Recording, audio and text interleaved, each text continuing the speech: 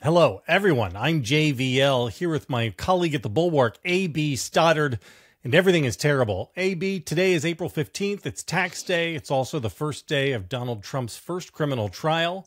They are underway right now, and the entire universe is trending on Sleepy Don. Yeah. Because I want to I want to read to you from Maggie Haberman her report from this morning. This is before the lunch break on day 1 of his trial. This is Maggie Haberman reporting from the courtroom. Mr. Trump appeared to nod off a few times, his mouth going slack and his head drooping onto his chest. In a later report, she she noted that her his lawyer was in the process handing him several notes, all of which just didn't register with him until he finally. Oh, ah, ah, ah. That's great. That's great. It it says so much. Um, so I haven't been. We haven't been together, darking out for a while. It's been a minute. and some things have happened. Donald Trump has had to eat a shit burger on abortion in Arizona, and um, and Joe Biden is rising in the polls. Twenty two of them since late February. This is a lot of a lot has begun to change in, in a good way. But I don't think this trial is going to do anything. Um, and not that you and I have sat as criminal defendants in a courtroom before, or that any of us, anyone listening to us right now or watching has. I fall asleep before the plane takes off. I can fall asleep in any class, almost at the dentist chair, anywhere. But only a sociopath passes out first day criminal trial. I mean, Think about it this way. When It's the unreal. last time that Donald Trump was in a room for a prolonged period of time Yeah. where he did not have control over his entry and exit?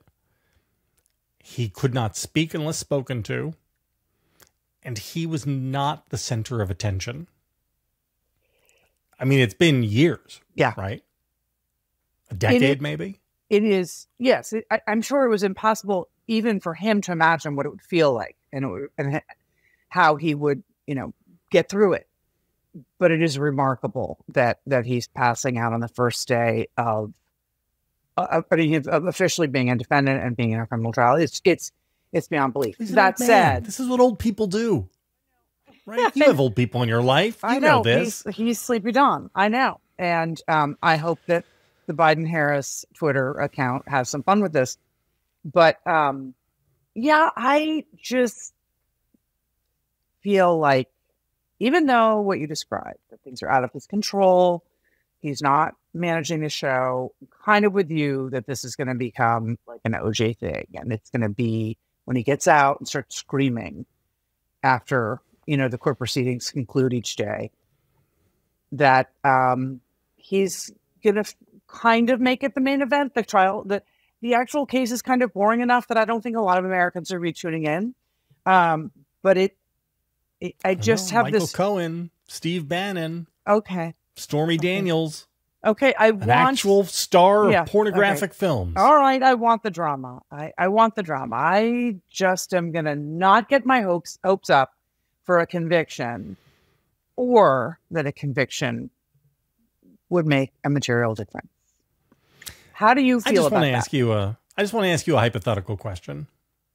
Hypothetically, Ding. if Joe Biden was at a criminal trial in which he faced a felony and he fell asleep, roughly how many days in a row do you think the New York Times would lead with that?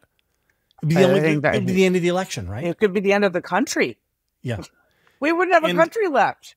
the double standards here and i i mean at this point you're just yelling into the wind when we talk about it but it's so glaring what voters care about and what voters don't care about and they've just decided joe biden's really old donald trump falls asleep at his criminal trial yeah i wish i understood it so what they were doing today was jur- the beginning of jury selection and the most interesting thing is that they brought all the jurors, potential jurors, into the courtroom and they asked them just a blanket before they did anything else. Do you feel like you can be fair and impartial? Do you know the answer to this already? Did you see the did you, did you see the report on this? No. Okay. What percentage of the initial jury pool do you think said they could be fair and impartial? A small percentage. Half. Half of the jury pool disqualified itself from the get go. And this is this is after like the the written jury selection stuff. So seating this anyway, Yeah. I, I've been following the New York Times live blog of this and the the description of the jurors, you know, uh potential juror number 17 is a creative director who lives in Midtown Manhattan and is in, in like uh uh glasses and a tweed jacket and says he reads the New York Times and I'm just like, "Oh, that dude can't be on the jury."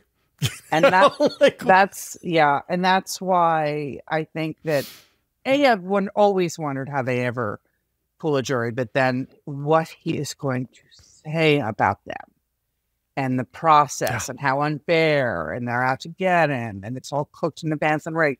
I just I don't I I have no faith in this bringing accountability, mattering to the American people and um, it's so, and and what I love is that people who once called it a bookkeeping error are now saying, "Yeah, so he did it, but it's not illegal." yeah. So it's it just So, but it's only a misdemeanor, and the statute of limitations ran out on the misdemeanor, and so you can't really try him for this. Yeah, it's nuts. It's nuts. While we're on that, yeah, I'm going to flip the show order here because we were going to do something else first. Let's talk about Chris Sununu, who went on to uh, this week with George Stephanopoulos yesterday, and George Stephanopoulos did something which almost never happens in broadcast journalism. He began the interview by asking a question. He asked Chris Sununu, uh, you know, can you still support this guy if he's convicted of a felony? And Sununu didn't answer it. And so Stephanopoulos, God love him, spent nine minutes litigating the same question, the entirety of the interview, until he got an answer. And then once he got an answer, he was like, all right, thanks for coming on. It was amazing. And uh, among the many things Chris Sununu said, I don't know what your Chris Sununu, who I think of as the Ross Douthat of Republican politicians, he he was like, well, you know, it's this is all people think of it as reality TV. It's not reality TV. It's you know, there's some some real serious things here, but people don't pay attention to it, and you know, it he always comes back stronger, and so why should we care about it? And don't go expecting anything from this. And 51% of America prefers Joe prefers Donald Trump to Joe Biden, which is not a thing that has ever been true. It's- yeah. it- Donald Trump has run for president three times, and he has never been at 51% in any polling average during any of those years. And everyone needs to read what you wrote about this today. It is on, I mean, it's not, it, what you wrote and what you've written about him in the past in your analysis combined with this unbelievable transcript. Um, and I did watch the tape is, is, is just breathtaking. It is, it, he used to be considered someone of some political judgment, comes from a political A family. rising star. Yes, and reasonable and honest, and so brave to back the People thought he might run himself, AB. Do you And- remember that? Yes, and yes, and buck Donald Trump, and he sent everyone a warning last August, not even a year ago. What is that? A little more than six months ago, saying that Republicans had to narrow the field because Trump Hmm. was going to cost them up and down the ballot. Run, he's he's candidates are This running was to save this America. was three weeks after saying that Donald Trump couldn't possibly be the nominee. Sorry, right, three months. Right. So, he, he says when when it is actually, I mean, the most preposterous thing in the world. He just declares when asked, you know, what, what are you going to do if Donald Trump's the nominee? He's like, well, he won't be. He can't be. He's like, I don't know. He's leading every poll. No, no, don't worry. And then 12 weeks later, he's like, oh, got to narrow the field. Over and Thanks a over lot, big again. guy. Yeah, he said You that. liar. That he's just not going to be. He can't be the nominee. He won't be the nominee. And so he calls him the narcissist, running on grievance and lies. He's going to bilk his supporters with their retirement savings to pay for his lawyers. And then he tells George Stephanopoulos, first, I mean, it's you. Everyone should needs to read it because he's babbling incoherently. He says we're going to have a pro-business economy. We're not going to have cancel culture. Uh, another point, he says that it's really all about um, dealing with all the wokeness um, and all the rules and policies that pound down on the American people. That we need a culture of change. But in between, you're right. He has these moments that are so embarrassing where he gives it away and he uses 51% number several times, which is really weird. It's Yep. this manic talking point that he went into. He was like, I'm going to say it's no, I stand by my statement several times. I'm going to say it's no surprise a Republican governor would back the, the top of the ticket. And I'm going to say that everyone loves him. And so I have to too 51%, 51%. Hmm. The But dude's he- own vice president won't endorse him. Right. Why does the Republican governor of a of of an inconsequential state need to? But he does the hostage thing, JVL, Yeah. where he goes, No, no, it's not that it's not consequential. It's just that people see it as political. Oh, he, he says the average American just thinks it's more reality TV and prosecution of him at this point. He plays that victim card very, very well. He says so. He's basically So what am I going to do? Right. He's like, I'm Right. in a basement with a gun to my head, be- recording this video. And as you know, he has no future in the party. There's no reason for him to do this. It's so hates him. sad. Right. All of the MAGAs hate him. Right. Don It's. Bolduc in, in New Hampshire hates him. Chris Sununu couldn't win a primary, a Republican primary in his own state for anything. Ever anymore. again. And the idea that he had to do this, and as you know, that he had to go on ABC, it's the most embarrassing but depressing and dangerous, as you also point out, because once again, it fuels his permission for everybody else. It's just absolutely Does he have a humiliation kink? Is that what this is? Like, you know, this is his version of uh, going to a, a dominatrix to get paddled and told what a bad boy he is. Like, I don't, wanna think- I don't understand how a man Uh, could do this. this- Just humiliate himself on behalf of a guy who hates you for a political movement that has thrown you out. And he had the out, thing. right? First, he didn't run for, for Senate in 2022. Then he didn't run for president in 2024. Then he said, you know, this is my last term. I'm just, Annie backs Nikki Haley. All you had to do with all the things he said in the past that you've linked to about Trump is just quietly go away. Yeah. And he's, and We're not he's saying from, anything. Right? This is he doesn't have to go on the Sunday shows. That's a choice. It, it was it, it, when I saw that he was on them, I thought he was going to drop a bomb Yeah. uh, of a different kind. uh, You know, uh, uh, to But be instead he's a surrogate. be and it really went viral, and it really um, made it. I mean, it is again just real plaudits and praise for Stephanopoulos the way he handled it. Really amazing and so important. He he would say. Well, it's just about the politics. Everyone wants this guy to win. And he kept bringing it back around. I'm not talking about politics. I'm talking about whether you think it's right. Uh, it, it- anyway, it was a Saturday Night Live skit of surreal, like Yeah. Trumpism gone, you know, how much it just corrodes your brain. And AB, it's not like we're asking him to do something that nobody else has done. Mike Pence is out on that limb. Liz Cheney is out on that limb. Adam Kinzinger, uh, Lisa Murkowski, right? I mean, we we have a bunch of very serious people. Again, Donald Trump's own vice president won't endorse him. Uh, this is, you know, all all Sununu has to do is side with them, or or forget that. Just don't say anything. Don't Right. affirmatively come out and en- endorse and campaign and stump on behalf of Trump on because the the danger is that normie Republicans who really don't like Trump, who think Trump is bad, and who think, well, I should probably vote for Biden. Chris Sununu is one of those guys trying to pave an off ramp for them so that uh, they can they can come back to Trump. Well, you know, Sununu says it's all about the party. One of the things that drives me crazy, Sununu's like, it's not really about the president. It's about uh, voting for Republicans up and down the ticket.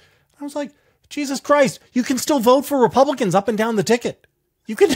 you, you- I don't know if Chris Sununu's ever been in a voting booth, but you don't. You're not locked into every single. You know, well, I voted for for the purple party, so I got to vote for all the purple candidates. No, you could you could vote for Joe Biden at the top of the ticket, and you could vote for nothing but elephants after that, and it would be okay. What's interesting too is he could have easily given the hook of the RNC the fact that resources are being. Yes. I don't know if you saw Frank Donatelli, a former RNC chair who worked with John McCain in his campaigns, recently wrote about how the the with the family takeover and all the things we've talked about, this sort of banana republic style. Um, you know, you have no visibility into the money. The family controls everything. he talked about how this was there's just an admission that there's they they're not even hiding it that they don't give a crap about state parties or down ballot races, and so Chris Sununu could have, without really bashing Trump, gone on and said, Yeah. I am so concerned that I hear about all the investment in the anti fraud unit and all the battalions of lawyers they're going to be investing in for all this post election litigation if Joe Biden wins again. I really want to know that there's a Republican Party in addition to Donald Trump. I want to know that those races are being funded and sort of just, I don't know, made himself relevant with like a weirdo but newsmaking interview without doing um, without just coming on and doing a kamikaze, look, Trump is a disaster, and or without doing what he did. I mean, he he could have done that, right? There is a concern. Ken Griffin, a big donor who hasn't backed Trump yet, but also went all in for Haley, is now earmarking four million dollars to only four House members who are pragmatists, right? You you could have found a way to be on the Sunday shows and sort of express some chin scratching concern Yeah. about the rest of the party without actually going on a jihad against Trump. Um, but it was so hard given the reporting about Mike Pence that came out over the weekend uh, be, to, to watch someone like Sununu do this and to and the, the Pence reporting and everyone should read it um, in the Washington Post is so interesting about like what how he's like going to do his little foundation stubbornly anyway, his little group and and go out and try to get audiences of 13 people who care about Reagan foreign policy and the real pure pro life position, right? And um, and it a- a- anyway. I mean, we always go back to Mike Pence, but how Chris Sununu can sleep at night after after what Mike Pence has done to go on ABC and do this is so bizarre. last, last thing on Chris Sununu. Uh, so one of the things he said was that he hates the election denialism and all the 2020 stuff, but that it's about supporting the Republican Party. Maybe Chris Sununu missed this, but at the Republican National Committee, they now ask people who are applying for jobs, did Donald Trump win in 2020? And you have to say yes, otherwise you don't get a job there. So, I mean, you know, It is not only a litmus job, test Chris. for the RNC, it's a litmus test for any VP um, potential running mate. Oh, you have yeah. to be an election denier, which is why beloved Tim Scott, that everyone thinks so fondly of, is not going to be chosen. Um, and you can't, I mean, you can't say, I really think it's terrible that he was had a role to play in the insurrection and I hate the election denialism and then say, but we have to have him back. I mean, it's, it really is irrational, but he's, what does he want, JVL? Does he want like, a, does he want a ticket to the convention? Like, what I is think getting humiliated gives him a stiffy. I don't know. I don't know what else to tell you. Hey JVL, it's been months since I've seen you uh, without a screen intermediary. I'm just Yes. dying to lick your face and put my hands on you. And so, are, Oh. are you gonna come do some public events with us and be human among the people? Human contact human contact yes yes i'm gonna do it i'm coming out of the house i'm leaving the basement for two days may 1st in philadelphia and may 15th in washington d.c This will be the first Bulwark event where we encourage jeering because it's Philly people, so jeer us. yes May 1st. if we have a bad show i expect the philly crowd to boo us Please. Or anyway, even if it's a good show, boo us anyway. We deserve it. May 1st in Philly, May 15th, 6 and I Synagogue in Washington, D.C. Come hang out. Go to thebulwark.com slash events to get your tickets. Thebulwark.com slash events. And JVL, I just can't wait to get all up on you. All right. Oh, now now on to our vegetables. Over the weekend, Iran launched 120 ballistic missiles, 170 drones, and 30 cruise missiles at Israel, and basically all of them were shot down. Uh, the interception was done by a combination of Israeli and U.S. forces, um, with assist from the UAE and Jordan and Saudi Arabia, who provided intel and overflight and and even some some hard assets. Uh, a lot of talk about this. You know, Joe Biden evidently uh, said to Bibi Netanyahu over the weekend, "You won. Take the W." Uh, I think we have a difference of opinion of the bulwark on this. I think so. Bill wrote about this this morning. I wrote about it a little bit this afternoon. Uh, Bill, I think, and I'm I may be reading more into him than than he intended. But I think Bill's basically on the deterrence, like, hey, you have to you have to respond, you have to retaliate to Iran, uh, and I think that is not wise because I think the way to retaliate against Iran is by destroying their proxy Hamas in Gaza, Right. um, because that that is retaliating against Iran, yeah, but it's retaliating in a strategically meaningful way. Um, I don't know. What are what are your thoughts on this? Well, I think that there, there's it's a hornet's nest, right? So what happened is a win and was incredibly impressive, and is a manifestation of years of hard work and careful diplomacy to to protect Israel and and and build this collective aerial defense through a coalition and it and the test the, the day arrived and it was successful. It doesn't mean that it always can be if Iran keeps it mm. up. It doesn't mean that is that the Israelis don't feel that they have to respond, and they're making they're indicating that they feel that they do. So this could easily escalate. So if you look at from a from a domestic politics lens, it's I mean everyone is hammering on the right is hammering Biden as weak and he let this happen and he's aligned with the Iranians and um It's crazy. I mean, this And- this happened and- because this was Iran's retaliation against Israel because Israel went and took shots at a, a Iranian And killed- embassy in Syria and killed killed, a bunch of of bad guys and, Yeah. and some generals. Which, by the way, I'm all for.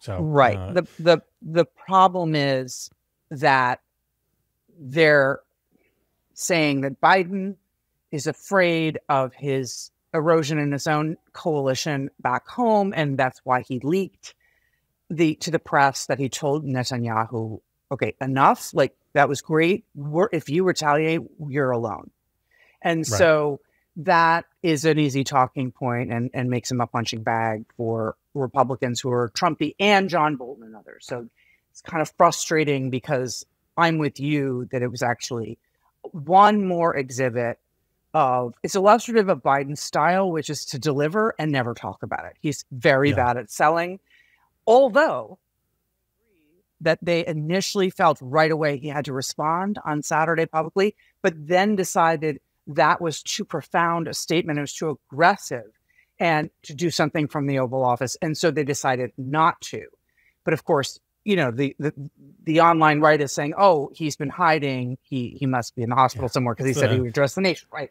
So so what I would like in terms of him on the world stage and him speaking to us at home is for him to just be a lot more rhetorically aggressive about first of all just tell us what's going on and and be more rhetorically aggressive about the situation and how they're handling it he's now calling for diplomacy fine talk to us about it hmm. my problem with him kind of letting the left call him you know paint him as genocide joe and everything is that he he did the right thing on israel we have a huge burgeoning anti-semitism problem in this country that has not let up since October 7th. And I just want him to talk. I long have been begging for him to be much more out front about Ukraine. I think that he's kind of feeling up on the American people on that issue.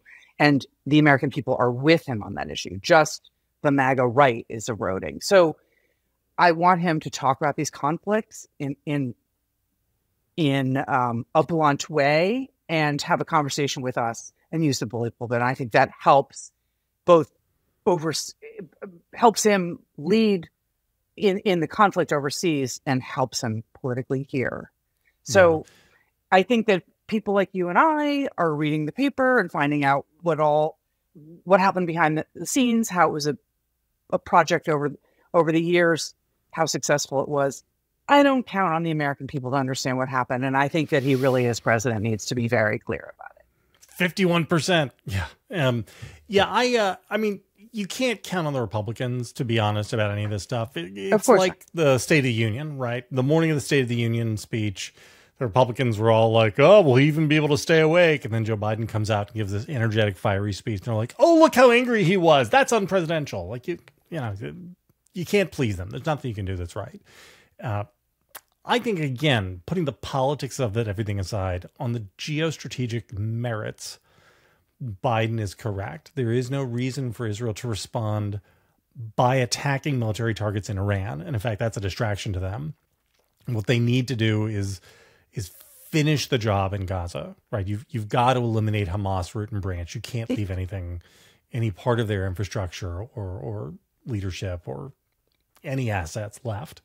Uh, and and that's because otherwise to, to not achieve that now you get the worst of all worlds you have to rebuild gaza but you you have left the cancer cells still there in in the in the area but uh, you know I, I look at this and i'm incredibly hopeful by the fact that the saudis the jordanians and the Yeah. uae were all on board when we are six months into a very brutal war in which 30,000 innocent Palestinians have been killed, uh, which, you know, whatever, it's just, it's horrible.